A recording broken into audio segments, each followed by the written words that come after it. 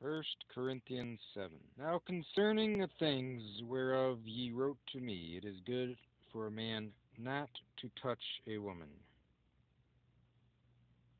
Nevertheless, to avoid fornication, let every man have his own wife, and let every woman have her own husband. Let the husband render to the wife benevolence, likewise also the wife to the husband.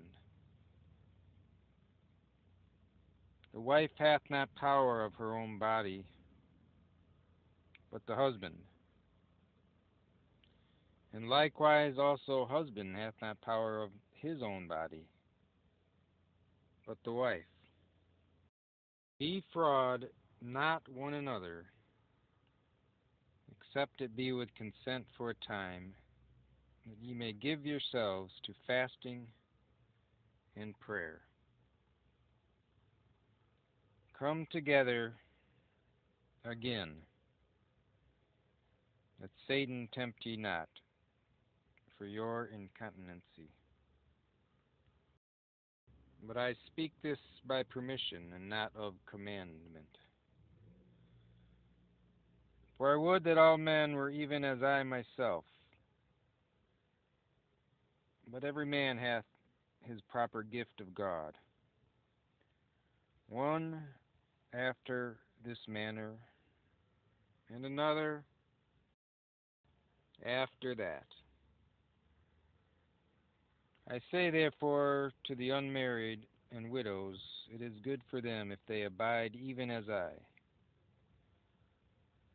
But if they cannot contain, let them marry.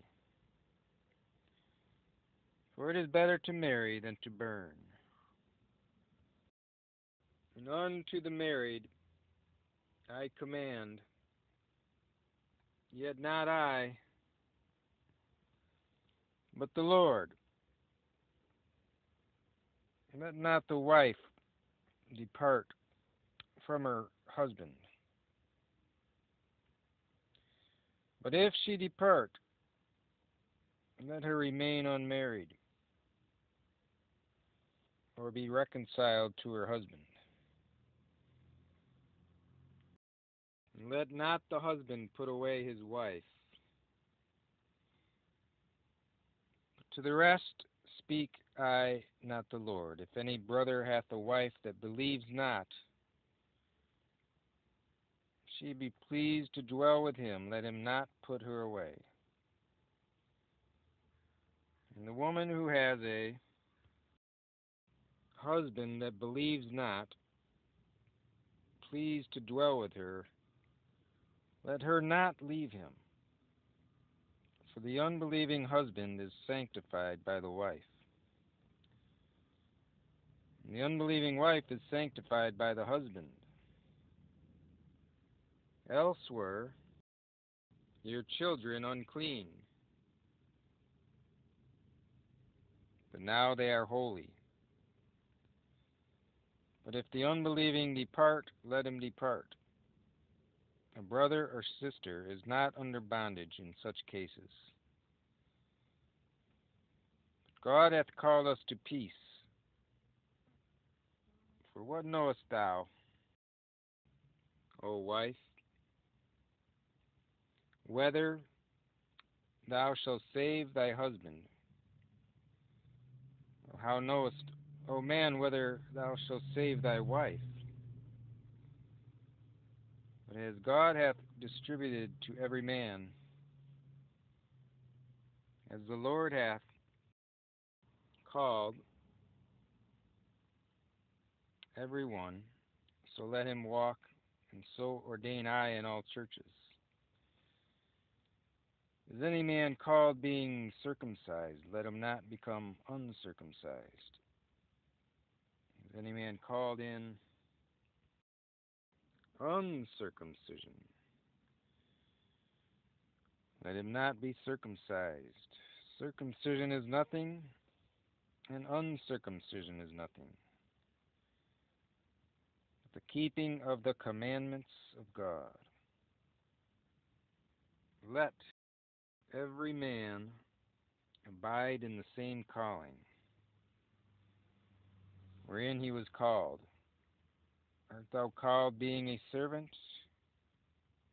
Care not for it, but if thou mayest be made free, use it rather.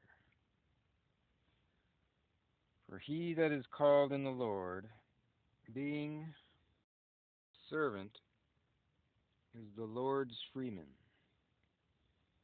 Likewise also he that is called, being free, is Christ's servant. Ye are bought with a price. Be not the servants of men. Brethren, let every man wherein he is called therein abide with God. Now concerning virgins I have no commandment of the Lord. Yet I give my judgment, as one that hath obtained mercy of the Lord to be faithful. I suppose, therefore, that this is good for the present distress. I say that it is good for a man so to be. Art thou bound unto a wife? Seek not to be loosed. Art thou loosed from a wife? Seek not a wife. But if thou marry, thou hast not sinned. And if a virgin marry, she hath not sinned. Nevertheless, such shall have trouble in the flesh. But I spare you. This I say, brethren, that the time is short. It remains that both they that have wives be as though they have none,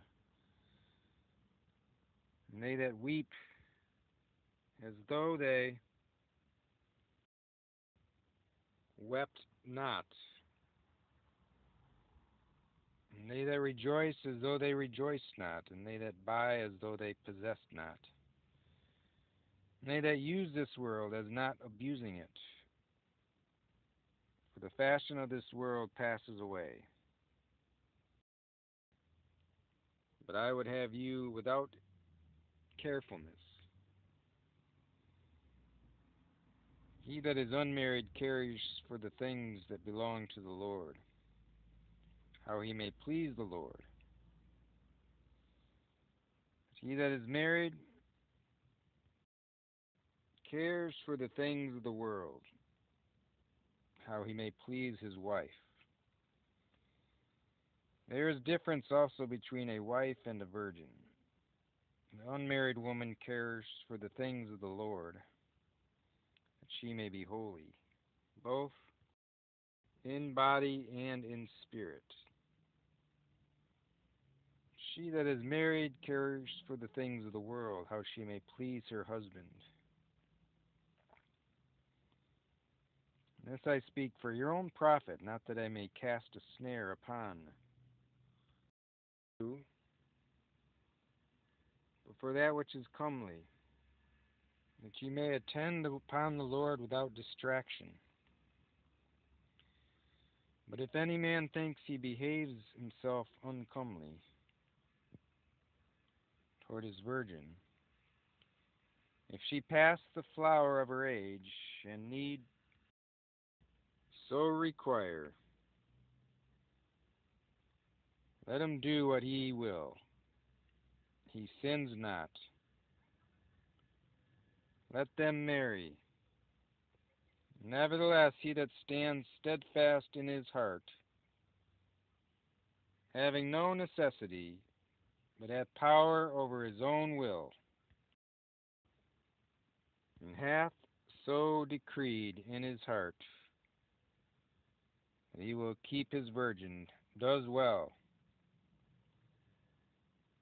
So then, he that gives her in marriage does well, but he that gives her not in marriage does better. The wife is bound by the law as long as her husband lives. But if her husband be dead, she is at liberty to be married, to whom she will. Only in the Lord. She is happier if she so abide after my judgment. And I think also that I have the Spirit of God.